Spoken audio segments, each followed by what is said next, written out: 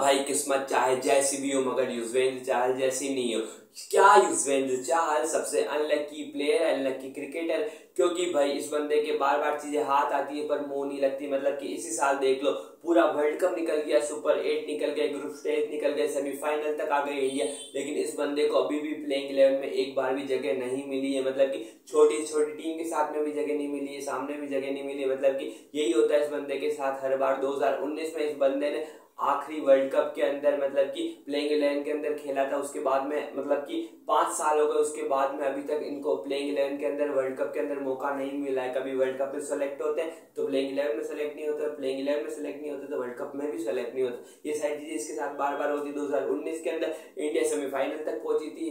New Zealand ने हराया था उस साल अच्छा परफॉर्मेंस था। हालाँकि हर साल इनका परफॉर्मेंस तो अच्छा होता है, लेकिन वर्ल्ड कप के अंदर इनको कभी स्पोर्ट में मौका नहीं मिलता तो कभी प्लेइंग इलेवन में मौका नहीं मिलता। उसके बाद में 2019 में वर्ल्ड कप होना था, लेकिन कोविड 19 और लॉकडाउन की वजह से वर्ल्ड कप को पोस्टपोन कर दिया गया तो दो में वो वर्ल्ड कप हुआ, वो हुआ था दुबई के अंदर। दुबई के अंदर इनको सिलेक्ट किया गया, लेकिन प्लेइंग इलेवन मौका नहीं मिला।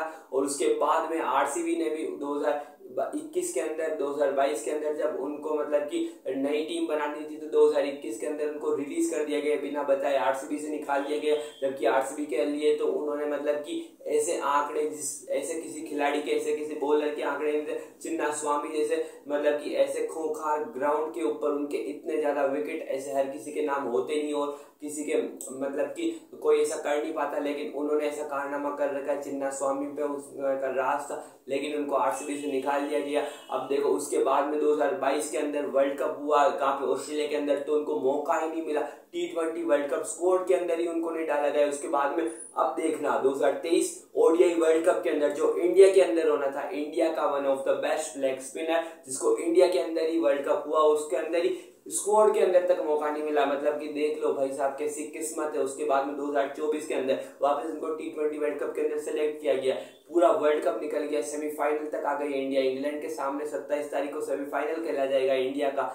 वो है वेस्ट इंडीज के अंदर खेला जा रहा है। लेकिन भाई साहब मतलब कि इस बंदे को स्क्वाड के अंदर मौका मिला, लेकिन सुपर एट हो गए ग्रुप स्टेज हो गया। लेकिन एक मैच के अंदर भी प्लेइंग इलेवन के अंदर मौका नहीं दिया गया इस बंदा को। देख लो मतलब कि भाई साहब, इतना ज़्यादा लंबा वक्त हर बार हाथ आता है, पर मुँह नहीं लगता। मतलब कि one of the luckiest unluckiest player जो है, वो यूजेंट जैल है, हो चुके हैं। मतलब कि इंडिया के लिए मतलब कि भाई, हर बार ऐसा ही होता है। मतलब कि बहुत पास तक आते हैं, लेकिन बहुत दूर रह जाता है। ऐसा ही इनकी कहानी। और भाई तुम्हें क्या लगता है कि यूजवेंट जैल को अगले जो मैचेस होने वाले सेमीफाइनल और फाइनल में क्या लगता है, तुम्हें मौका मिलना चाहिए या नहीं मिलना चाहिए? मेरे हिसाब से तो भाई मिलना चाहिए, लेकिन भाई मिलेगा नहीं, क्योंकि भाई साहब मतलब कि इस साल भी इनको लिया गया था, लेकिन इनकी जगह अक्षर पटेल यूजवेंद्र चहल की जगह कुलदीप यादव और कौन? रविंद्र जडेजा को खिला लिया गया। इनको मौका नहीं मिला, लेकिन भाई मेरे हिसाब से लगता है। और तो और ये तो चलो ठीक है, लेकिन अब जो जिम्बाब्वे टूर होने वाला है, उसके अंदर भी इनको मौका नहीं मिला गया मतलब कि चलो, ये तो वर्ल्ड कप के अंदर तो चलो ठीक था, लेकिन जिम्बाब्वे टूर जो होने वाला है, उसके अंदर को सेलेक्ट ही नहीं किया है। स्कोर के अंदर मतलब कि समझ में नहीं आता भाई सिलेक्टर क्या सोच के सिलेक्ट करते हैं, क्या खिला रहे हैं मतलब कि सिलेक्टर क्या सोच के खिलाते हैं मुझको बिल्कुल समझ में नहीं आ रहा। चलो वर्ल्ड कप के अंदर तक ठीक था, लेकिन जिम्बाब्वे ट्यूर जो होने वाला है वर्ल्ड कप के बाद में, उसके अंदर इनको मौका तक नहीं दिया गया ये काफ़ी अनलक्की बात है, यूजवेंट चेयर के लिए, इसलिए ये वीडियो बनाई है कि क्या?